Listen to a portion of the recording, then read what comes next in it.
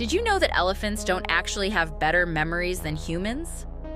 This famous belief is completely wrong.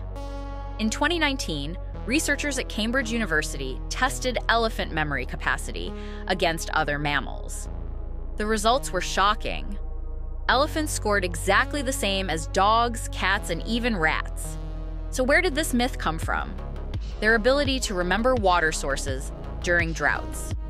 But here's the thing that's not superior memory, it's basic survival instinct. Every animal remembers where food and water are located. It's hardwired into their brains. The neuroscience reveals something fascinating. Brain size has nothing to do with memory capacity.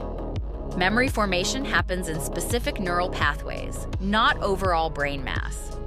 This connects to ancient Stoic wisdom about questioning our assumptions.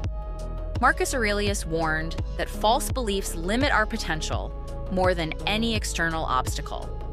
We assume elephants are smarter because they're bigger, just like we assume we can't learn new skills because we're too old.